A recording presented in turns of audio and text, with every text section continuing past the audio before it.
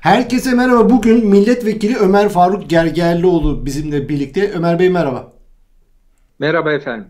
Bugün siz Çağlayan Adliyesi'ndeydiniz. Ee, kız çocukları davası olarak bilinen e, davayı, mahkemeyi bugün takip ettiniz. E, Mayıs ayında e, saat 5 itibariyle evlerine operasyon yapılmıştı. 32 38 kişinin evine bildiğimiz kadarıyla operasyon yapılmıştı ve 14'ü de 18 yaş altı kız çocuklarıydı bunların. Bugün mahkeme başladı bildiğimiz kadarıyla da terör suçu olmayan yani yasal faaliyetlerinden dolayı terör örgütü üyesi olarak suçlanmışlardı bu çocuklar ve anneleri. Bugün mahkemede neler yaşandı, neler oldu bizimle paylaşır mısınız? Tabii. Herkese merhaba. Ee, bugün mahkemeye gittik. 24. Ağır Ceza Mahkemesi'ne. Ee, konuyu takip ediyordum. Öncesinde de e, göz altına alınan iki kız çocuğuyla e, bir program yapmıştım. Onların sesini kamuoyuna duyurmuştum ve çok vahim şeyler duymuştum. İki kız çocuğu da oldukça önemli e, travmatik olaylar yaşamışlardı. Evlerine sabah saat 5'te bir polis baskını yaşamışlardı. Hasta bir anneleri vardı. Parkinson hastası ve daha pek çok ağır hastalığı olan bir anneleri e, karaciğer nakli olan bir anne ve Parkinson'u var. So, biz bugün onu mahkemede de gördük. Sol tarafı titriyor. Çok yaşlı bir anne değil, e, 45-50 yaşlarında fakat oldukça ağır e, sıkıntıları var. E, bu iki e, kardeşin e, annesi e, ve diğer ablaları da tutukluydu. E, böyle bir mahkeme işte e, e, sanıklardan birisi böyle birisiydi. İşte hasta bir mahpustu, hasta bir kadındı ve 5 aydır içerideydi. E, çok sıkıntılar çektiğini söyledi. İlk önce e, göz yaşartacak şekilde e, ve e, insanı çok duygulandıracak şekilde gözaltına alınırken ne kadar kötü muamele gördüğünü anlattı.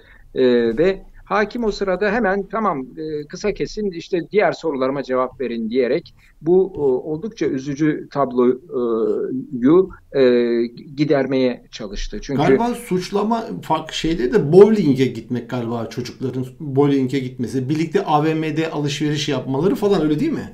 Evet yani şimdi böyle bir e, ağır bir şekilde gözaltına alınan sorduğumuz zaman ki ben bunu e, İçişleri Bakanlığı'na sordum. E, böyle bir gözaltı nasıl olabilir diye çocuk yaştaki e, kişilere yönelik. Bilgi amaçlı e, diye e, bize cevap verdiler. Soru önergemin cevabı geldi. Bilgi amaçlı biz onları aldık ama onlara yapılan muamele tamamen bir gözaltı muamelesiydi ve kötü bir gözaltı muamelesi. İşte böyle başlayan bir e, e, dava süreci. Sonunda e, insanlar gözaltına alındıktan sonra 41 e, kişi e, gözaltına alındı ve 19'u şu anda tutuklu ve haklarında bir dava açıldı. İddianame hızlıca kabul edildi Haziran ayında ve ilk duruşması da bugün yapıldı. Tabii böylesine ağır iddialarla işte teröristlikle suçlanan insanların e, fiilleri, itham edilen fiillerine baktığımız zaman son derece üzüncü bir görüntü vardı. Efendim işte şuraya niye gittiniz? E, şuradan niye alışveriş yaptınız? E, bowling oynamaya e, mı gittiniz? Şu AVM'de niye toplandınız? Öğrenci evine e, gittin, e, elindeki poşette ne vardı? Efendim e, çocuğuna e, İngilizce dersi e, e, niye aldırdın? Öğretmene ne kadar para verdin?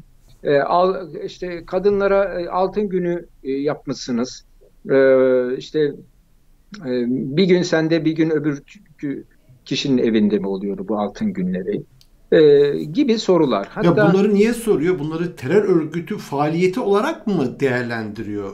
Evet yani şimdi bakın biz mahkemede zaman zaman öylesi bir hava oluştu ki İnanın ki yani şimdi mesela bakın iç aleminize bakarak bunu anlayabilirsiniz. Mahkemede olsaydınız, salonda olsaydınız mutlaka siz veya e, bir başka kişi hiç fark etmez. Bütün bu safahat karşısında ya acaba ben ve salonda yargılanan bu kişiler burada ne arıyor? Yani böyle suçlamalarla insanlar yargılanabilir mi? ya ne oluyor? Nasıl bir trajik olay yaşıyoruz? Nasıl bir komik olay yaşıyoruz diye içimizden geçti. Hepimizin içinden geçti. İnanın ki e, isyan etmemek mümkün değildi. Hatta hakimler ve savcının da içinden geçmiştir. E, Onlar bile. Niye yargılıyorlar diye e, soracaksınız. E, bu işler talimatla oluyor.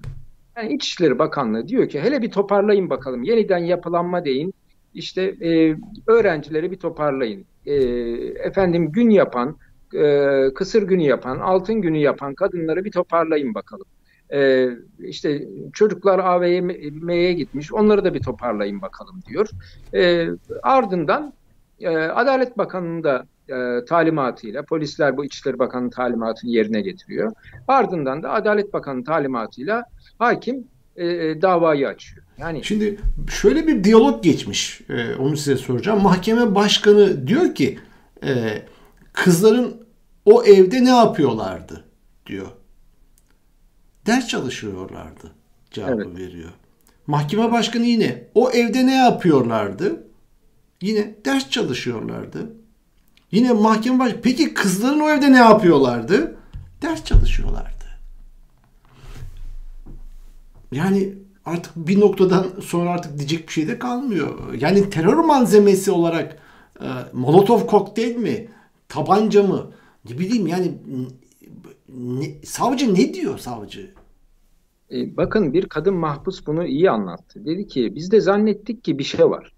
Sabaha karşı 5'te evimiz basıldı. Ağır silahlı polisler ve inanılmaz kötü bir muamele yapıldı. Ee, hatta bir yaşlı teyze bana e, e, öğle tatili arasında anlattı. Çok üzülerek, gözleri yaşararak. Bir kadın polis dedi ne kadar kötü muamele ediyordu. Ya kızım dedim niye böyle bu kadar kötü muameleler yapıyorsun? Yani ne istiyorsun bizden ya? Nedir bu hıncın? demiş. Ev diyor tarumar oldu. Ee, ya biz de zannettik ki çok önemli bir yanlışlık yapmışız. Sonra iddianame bir önümüze geldi. Efendim işte e, gün yapmışsınız, altın günü yapmışsınız, çocuklarınızı ders çalışmaya göndermişler, göndermişsiniz. Çocuklar birlikte oturup ders çalışmış. E, daha sonra bir eğitim kampına gitmiş, orada eğitim koçu onlara bir ders anlatmış. E, ondan sonra gitmişler AVM'de buluşmuşlar, ardından bowling oynamışlar, ardından öğrenci evine gitmişler. O bir öğrenci evindeki öbür öğrenci evine gitmiş. E, buralardan bir şey e, çıkarılmaya başlandığını görünce o, o e, sanık e, mahpus kadınlar da isyan etti. Hakim Bey dedi yani bize bunları niye soruyorsunuz? Bunlar son derece doğal hadiseler. Şimdi o savcı ve hakimler de aslında bun, bunların son derece doğal olduğunu biliyor. Oraya gelmek istiyorum. Bakın onlara talimatla bir şey söyleniyor. Ey savcı e, iddianameyi böyle boş iddialarla hazırla. Ey hakim böylesi boş bir iddianameyi kabul et diyen yukarıdan gelen talimatlar var. Yoksa bu mahkeme olmamalıydı. Biz o bugün orada olmamalıydık. O sanıklar orada olmamalıydı. İnanın ki benim içimden sık sık bu duygu geçti. Hani isyan etmemek mümkün değil ya. Peki Şimdi, savcı de... savcı hakim tabi talimat da yapıyor dediniz ya. Evet. Peki bu konuda mahkemedeki izleniminiz olarak çok iştahlılar mıydı? evet biz bunları artık terör suçu ve terör örgütü olarak suçlayalım noktasında bir iştah halleri mi var yoksa başları öne eğik otur davalar da oluyor. Böyle adam utancından bakamıyor bile yani. Ruh hallerini nasıl tarttınız? Nasıldılar? Ee, bazen böyle savcı her şeye müdahil olur. Biliriz, gideriz mahkemelere. Savcının bugün çıtı çıkmadı. Diğer hakimlerin de çıtı çıkmadı. Hiçbir soru sormadılar. Ee, işte başkan e, sorular sordu. Ama başkan da sorular sorarken yani gerçekten e, biz böyle gülsek mi ağlasak mı diye düşünüyorduk. Başkanın tavrını çok iyi niyetli bulmadım açıkçası. Diğer iki hakim ve savcı daha böyle sessiz kalıyorlardı ve yani içlerinden sanırım ya ne diyelim biz yani ne soralım yani bu ne saçma işler yani önümüze getirildi ama biz de e, talimatla bunu e, hazırladık. E, şimdi bu e, tiyatroda böyle oturuyoruz ama yani ne yapalım diye sanırım içlerinden düşünüyorlardı. Fakat başkanın tavrı çok e, iyi değildi. Böyle başkan biraz öküzün altında buzağı arar bir tarzdaydı. E, buzağı buldu mu bari? Valla bir buzağı bulabildiğini sanmıyorum ama evet. insanların bol bol tebessümlerini gördü yani. İnsanların öf pufunu, isyanını ya el insaf yani bu kadar da olur mu e, gibi tavırlarını görmemesi mümkün değildi. Peki, Ömer Bey, peki bu aileler KHK'lı aileler mi? KHK'lı ailelerin yani tecrit edilmiş toplumda tecrit edilmiş ailelerin yine tecrit edilmiş çocukları mı? Ve bu sebepten dolayı bunlar zaten bir araya gelen toplum tarafından dışlanmış insanların çocukları. Yani böyle bir durum da mı var ayrıca? Evet, evet. Genel olarak işte e, annesi babası bir soruşturma geçirmiş, KHK ile e, ihraç edilmiş, hapse girmiş, çıkmış e, gibi ailelerdi. Sanırım bunlara yönelik bir takip vardı ve e, uzun bir süre takip yapılmış. Yani e, gerçekten trajikomik şeyler gördüm. Bakın e, bir e, mahpus yakını e, cep telefonundan bana gösterdi. Bunu bugün sosyal medyada da paylaştım. Üç, üç kızı varmış. Bir kızı 10 yaşında. E, polisler o kadar takip etmiş ki sitenin bahçesinde 10 yaşındaki çocuk 5-6 yaşındaki diğer arkadaşlarıyla top oynuyormuş. Bu sırada hemen görüntüleri alınmış. Efendim bunlar mahkeme dosyasına girmiş. İşte e, çocuklar da burada top oynuyordu e, gibi bir görüntü girmiş. E, işte kadınlar birbirlerine gün yapmaya gitmiş. Çıkışta fotoğraflanmışlar. İşte elindeki siyah poşette ne vardı, şu bu gibi bir takım sorular sorulup duruyordu. E, ve şaşkınlıkla insanlar bunları yanıtlıyorlardı. Fakat 5 aydır çok mağdur oldukları da belliydi. E, bir an evvel beraat etmeleri lazım. Çünkü içlerinde kimisi öğrenci. Mesela bir öğrenci e, oldukça böyle iyi bir okuldaydı sanırım. Kimisi mühendislik, kimisi yapay zeka ile ilgili bölümlerde. Yani e, şu anda çocuklar okula başlayacak, okullarına gidecekler. Ama şu an tahliye edilmezse veya beraat etmezse okullarına da gidemeyecekler. Böyle büyük bir mağduriyet de yaşayacaklar. E, kadınlar zor durumda çünkü anneliklerini yapamıyorlar. E, orada e, eşlerle konuştum, kocalarıyla konuştum. Yani eşim içeride, ben çoluk çocuğa bakıyorum. Artık e, gerçekten çok zorlanıyoruz. Çocuğum psikolojik sıkıntılar yaşadı. E, eşim sıkıntılı. Yani inşallah bu, bu bugün e, e veyahut da bu işte beş gün sürecek, beş günün sonunda tahliye edilir diye umut ediyorlardı. İnsanlar hakikaten daralmış durumdaydı. Peki burada bu yeni bir aşamaya mı geçildi Ömer Faruk Bey? Şunu, şöyle ki yani e, KHK'lılar falan yani Gülen cemaati e, üzerinden soruşturma geçirenler zaten toplumdan tecrit edilmişlerdi, iş verilmiyordu falan, ağaç kökü yesinler falan. Şimdiki bu aşama sizler kendi aranızda da bir araya gelmeyeceksiniz. Çocuklarınız kendi aralarında dahi bir araya gelmeyecekler. Gelirlerse bu terör olarak değerlendiririz aşaması mı bu artık?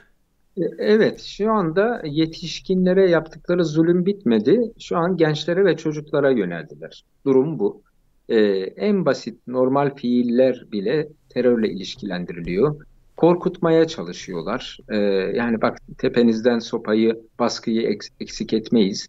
En normal fiillerinizi bile terör olarak lanse ederiz, damgalarız. Ona göre e, diye bir e, e, had bildirme olayı var. E, başka bir şey değil. Yani bu gördüğümüz bunlar anormal şeyler. Çünkü hani hiçbir zaman böyle bunlarla insanlar yargılanamaz. Yani olacak şeyler değil bunlar. Gerçekten bir e, öğrenci, e, üniversite öğrencisi genç kızın sözü çarpıcıydı. Ya dedi benim hakkımda bir sürü e, eylem e, toplamışsınız. Eylem dediğinizde ne? Yani işte bowling'e gitti, işte e, arkadaşlarıyla çay içti, pikniğe gitti yurt dışına gezi planlamışlar. Romanya'ya hadi gidelim gezelim demişler. Vay bu nasıl bir terörist fiildir denmiş gibi bütün bunlar ya diyor ki benim hakkımda bir ton eylem e, suçu oluşturmuşsunuz. Bunların çoğu yürümekle ilgili. Şuradan şuraya gitti, buradan bunu yap. Yani benim en büyük suçum anlaşılan yürümek diyor. Şimdi bakın artık e, yani kaygılı aileler öyle bir duruma getirmek istiyorlar ki nefes almaları bile suç e, olsun istiyorlar. Nefes yürüme, dahi alma davası.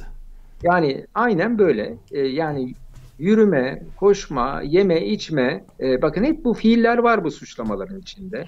Alt yapma, sosyal faaliyette bulunma, efendim e, yürüme. Yani o, evet. e, iyi, iyi bir laf söyledi e, genç üniversite öğrencisi. Ya dedi bütün bunları topladığınızda burada ortak eylem yürümek yani bir yerden bir yere yürümemi suçluyorsunuz. Peki Ömer Bey şunları da son birkaç sorum daha kaldı size sormak istediğim.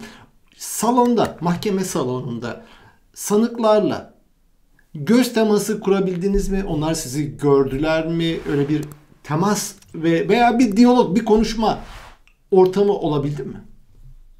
E, sanıklarla bir diyalogum pek olmadı. E, ben salona sanırım ilk giren kişiydim. E, milletvekili olduğum için ön sıraya oturdum ve e, sanıkların yüzüne de baktım. Mahpuslar önden getirilmişti. Mahpuslar oldukça sıkıntılı, üzgün ve tedirginlerdi. Yakınlarını gözleriyle arıyorlardı. Mahpus yakın, yani tutuksuz mahpus yakınlarıyla konuştuk bayağı. Mesela e, işte bu bahsettiğim e, Parkinson hastası, Parkinson ve karaciğer nakilli mahpus annenin üniversiteye giden, e, hukuk fakültesi ikinci sınıfa giden e, kızıyla e, konuştum. E, oldukça üzgündü. Kendi derslerini de çok aksattığını, çok travmalar yaşadığını söyledi. Tabii çocuklarla konuşurken gözyaşlarını zor tutuyorlardı. Yani ben mesela bu hukuk fakültesi ikinci sınıfa giden bir ay tutuklu kalıp serbest bırakılan şimdi tutuksuz yargılanan kızımızla konuşurken duygulandım yani. Daha sonra gidip iki kardeşiyle konuştum. Ben de yani gözyaşlarımı zor tuttum çünkü çok duygulu oldukları, çok dolu olduklarını hissettim. Dokunsan ağlayacaklar yani böyle bir durumdalar. Zaten duruşmada da e, genç kız annesi e, işte e, ifade vermeye çıktığında çok zorlandı. Onu da şöyle bir göz ucuyla onu izledim. E, çok ağır bir travma yaşıyordu gerçekten. Çok üzgündü. E, diğer e, eşlerle konuştuk. E, bize teşekkür ettiler. Göz altındaki bu ilk e, e, hadise e, 7 Mayıs'taki e, e, gayretimizden dolayı çünkü göz altındaki kötü muameleyi ifşa etmiştik ve e, bu genç kızları programda da almıştım. Bundan dolayı teşekkür edenler Mahkemede oldu. de siz görünce moral oldu tabii, tabii ki onları. E, ve e, işte avukat beylerle görüştük. Onlar da hepsi bakın ortak kelamları şu oldu. Çok zorlama bir dava dediler. Yani zorlaya zorlaya açmışlar. Normal bir başka mahkemede olsa, sıradan başka bir hakimde olsa bu e, dava açılmazdı. Yani böyle usta Hı. avukat, e, e, yılların avukatları bunu söyledi. Yani dediler biz e, biliriz yani böyle bu, bu tür iddialarla bir dava açılmaz. Yani bu, bu olmaz böyle bir şey. Bir an evvel beraat kararı gelmesi lazım veya yoğun bir tahliye bekliyoruz 5 günün sonunda. Çünkü insanlar çok mağdur oldu. Yaşlı, yaşlı teyzeler vardı ya. Torununu e, işte e, e, şey öyle torununa öğretmen tutan, e, hiçbir şeyden haberi olmayan, e, böyle yani herkesin acıyan gözlerle baktığı yaşlı bir teyzemiz çıktı. Hatta yani yaşlı olduğu için tutuklu sanıklardan önce kendisi tutuksuzdu. O bugün alındı. Yani yaşlı olduğu için ona bir öncelik tanındı. Yani İnsan olan o teyzeye bakıp der ki ya bu ne haldir? Bu ne haldir yani? Bu yaşlı teyzeyi terörist olarak yargılıyorsunuz. Yani Allah'tan korkmuyor musunuz? Kuldan utanmıyor musunuz? Ben o sırada yani varsa o hakimin vicdanının mutlaka sızladığını düşündüm. Pek bir şey de diyemedi. Diğer savcı ve iki hakim boş gözlerle baktılar. Ne diyeceklerini bilemediler. Yaşlı teyzeler, hasta mahpus kadınlar, genç üniversite öğrencileri bugün e, oldukça e, üzüldü yani. Çok evet. üzdü. Peki Ömer Bey son olarak şunu sorayım. Siz milletvekili olarak dediniz ki biz ön sıra hemen önden girdik oturduk. Sağınızda ve solunuzda başka milletvekili var mıydı? Bu bir. Basın olarak e, kimleri hangi medya kurumlarını orada gördünüz veya gördünüz mü? İkinci sorum da bu olacak son olarak. Maalesef milletvekili ve medya e, siyasetçi ilgisi azdı, yok denecek düzeydeydi. Sizden başka bir milletvekili yok muydu? Yok. Benden başka milletvekili yoktu. Ee, medyadan da yani bildiğimiz ana akım medyadan kimse yoktu. Ee, muhalif medyadan da maalesef kimseyi görmedim. Sözcü, Halk TV, Karar... Hiç, hiçbiri yoktu. Ee, çok üzücü. Aslında e, ama şu vardı mesela İstanbul Barosu e, Kadın Hakları e, grubundan bir avukat vardı. O e, şike eğer ki başvuru alırlarsa bu meseleyi baroya taşıyacaklarını söylediler. E, bu şikayetler de baroya yapılmalı. Bizim insanımız da biraz çekingen. e, aslında bu şikayetler sanırım şu ana kadar yapılmamış. Lütfen İstanbul Barası Kadın Hakları e, grubuna bu şikayetleri yapsınlar. E, çünkü şikayet etmezseniz de olmaz. Fakat üzücü olan tabii e, ne e, bir mil, başka milletvekili vardı, ne e, işte ana akım, ne muhalif medyadan kimse vardı. E, KHK'lı eski gazeteci, televizyoncu Sırrı Erbey oradaydı. E, onun dışında bir de sanırım Liberal Parti Genel Başkan Yardımcısı oradaydı ama o da salona giremedi. Çünkü salon küçüktü e, ve e, ancak sanıklar, işte milletvekilleri, avukatlar ve e, bir kısım e, az bir kısım e, e, tutuksuz yargılananlar vardı. Onun dışında kimseyi almadılar. Aslında e, dışarıda yoğun bir ilgi vardı ve e, polis e, salonun yani kıyısına bile yaklaştırmadı e, evet. diğer onları. Evet. Peki yayınımızın sonuna geldik Ömer Faruk Bey. Bütün mazlumların Ömer Faruk Gergerlioğlu'sunuz. Çok teşekkür ediyoruz ilginiz için. Her zaman olduğu gibi tekrar görüşmek dileğiyle. Sağ olun. İyi yayınlar. Her Sağ olun.